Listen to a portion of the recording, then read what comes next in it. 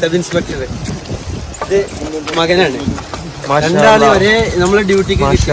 ഒരേ ഇതില് सर आपका नाम नियाज मोहम्मद मेरा नाम अयूब खान है और सियाह भाई जो हज के लिए जा रहे हैं उनकी सुरक्षा व्यवस्था में पूरा जाब्ता लगा रखा है अस्सलाम वालेकुम दोस्तों मैं आपका भाई सलमान रज़ा कादरी और आप देख रहे हैं Salman Raza official YouTube channel कैसे हैं आप उम्मीद करता हूँ जैसे भी होंगे खैर वाफियत से होंगे और अल्लाह की बारगाह में दुआ है अल्लाह रब्बुल इज़्ज़त आप सबको हमेशा खुश रखे और हर आने वाली परेशानी से परवरदिगार आपको महफूज रखे। तो चलिए अपने टॉपिक की तरफ़ चलते हैं। पहले मैं एक शेर जो मैंने याद किया है, और याद क्या किया है, शायद आपके भी वो याद ही होगा। काश एक बार, काश एक बार यूँ ही उम्र बशर हो मेरी। काश एक बार यूँ ही उम्र बशर हो मेरी। सुबह काबे में हो तो शाम को तैबा देखूँ। अब तो बस एक ही धुन है कि मदीना देखूँ। मेरे भाई जो शहाब केरला से चले हैं, हज करने के लिए जा रहे हैं, अल्लाह रब्बुल इज़्ज़त उनके हज को कबूल फरमा ले और साथ खैरियत के वो इंशाल्लाह ताला मक्का और मदीना पहुँच जाएँ। आप सब भी उनके लिए दुआ करिए तो सभी पूरा मुल्क उनके लिए दुआ कर रहा है। हालाँकि आसपास के जो मुल्क हैं, वो भी शहाब भाई के लिए दुआ करते नज़र आ रहे हैं। तो चलिए जो मुझे आपको आज बताना है, वो बड़ी आप ध्यान से सुनिए, बड़े गौर फ़िक्र से सुनिए। दो पुलिस वाले हैं हमारे, जो प्रशासन बड़ा साथ दे रहा है शहाब भाई का। एक का नाम अयूब खान है अभी आपने वीडियो में देख लिया होगा शुरू में। और एक का नाम है न्याज मोहम्मद।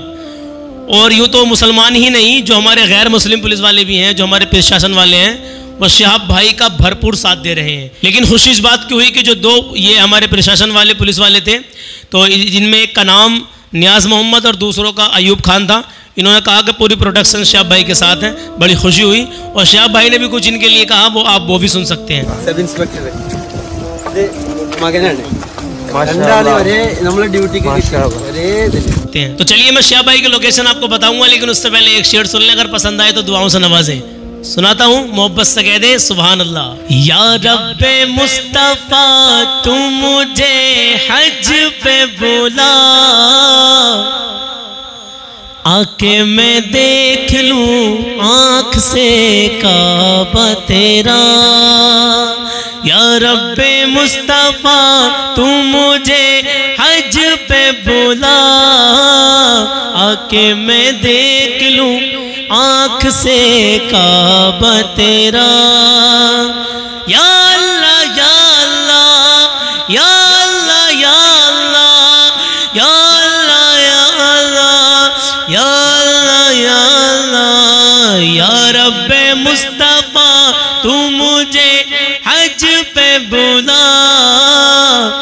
आके मैं देख लूँ आँख से काबा तेरा तो आप मेरे लिए दुआ करें, तबीयत थोड़ी सी नासाज है, कई दिनों से तबीयत ख़राब है, आवाज़ मुतासर है, आवाज़ में जो है थोड़ा सा डिफरेंस चल रहा है, खांसी वगैरह हो गई थी। चलिए इंशाल्लाह अपने टॉपिक की तरफ़ आते हैं। न कुछ लोग सोचने लगते हैं कि यार ये बोर कर रहे हैं। बोर नहीं करता मेरे भाई, जो बात हकीकत है, मैं वही बताता हूँ। तो चलिए, शिहाब भाई जो हैं, कल गुजरात होटल में रुके हुए थे।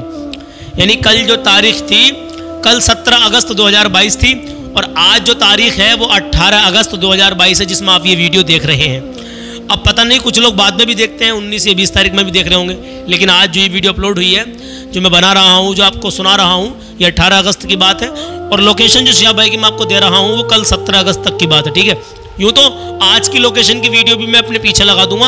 आप देख सकते हैं, इंशाल्लाह थोड़ी देर में। अभी जो फ़िलहाल आप वीडियो देख रहे हैं मेरे पीछे ये कल 17 अगस्त 2022 की लोकेशन की वीडियो है, जिसमें पीछे शहाब भाई चल के जा रहे हैं। तो प्यारे दोस्तों, कल शहाब भाई अजमेर छोड़ चुके हैं। डिस्ट्रिक्ट अजमेर को उन्होंने छोड़ दिया है। अब उन्होंने ज़िला नागौर में एंट्री कर ली है। तो ज़िला नागौर में एंट्री करने के बाद में कल जो हमारे शहाब भाई थे, वो एक होटल है, जिसमें होटल का नाम है। पहले तो वो कल दिन में गुजरात होटल में रुके हुए थे, और गुजरात होटल जो नागौर में है शायद शायद नागौर और अजमेर के बीच में है वो। जैसी लोकेशन मिली थी, अब शायद का जहाँ मामला मैंने कह दिया, शायद तो आप समझ सकते हैं। लेकिन जो पक्की डिटेल है, कल शाम, यानी कल 17 अगस्त 2022 में, कल शाम शहाबाई होटल भाग्यशाली में रुके हुए थे, जो नागौड़ में ही लगता है, ठीक है?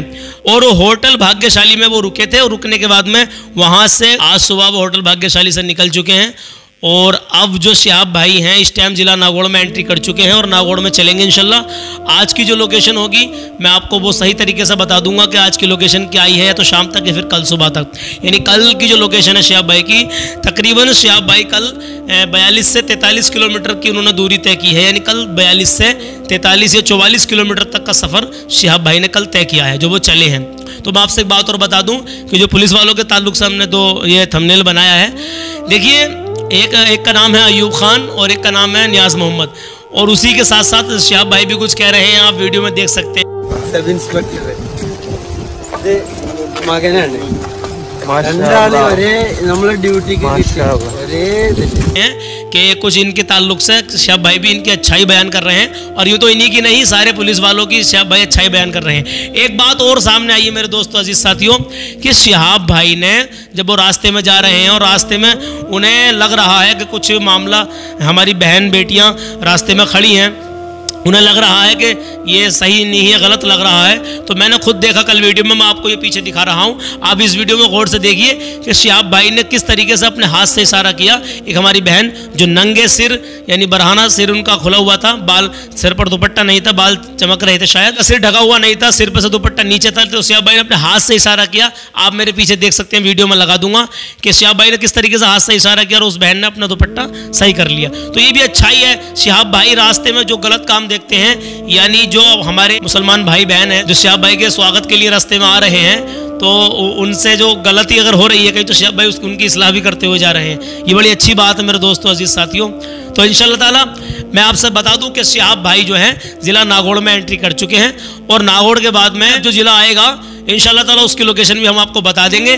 फ़िलहाल, अजमेर डिस्ट्रिक्ट शिहाब भाई ने छोड़ दिया है, ज़िला नागौड़ में एंट्री कर चुके हैं। कल शाम वो होटल भाग्यशाली में थे आज दोपहर में जिस होटल में वो रुक गए, इंशाल्लाह ताला, उसकी लोकेशन भी आपको बता दी जाएगी। क्योंकि मेरे दोस्तों, मैं जो लोकेशन आपको बताता हूँ, जब हमें मिलती है किसी चैनल वाले के ज़रिए से, या हमारे एक भाई हैं, केरला में रहते हैं, वो मलयालम बोलते हैं और हिंदी भी बोलते हैं तो वो थोड़ा हमें बता देते हैं कि ऐसे ऐसे फला जगह वो रुके थे और फला जगह वो जा रहे हैं। तो ही हम आपसे बताते हैं और जो हमें पता चल जाता है, वो आपसे हम बता देते हैं। तो आपको हमारा शेयर जो हमने शुरू में श्याब भाई के लिए पढ़ा, वो कैसा लगा? कमेंट में अपनी राय ज़रूर बताएँ।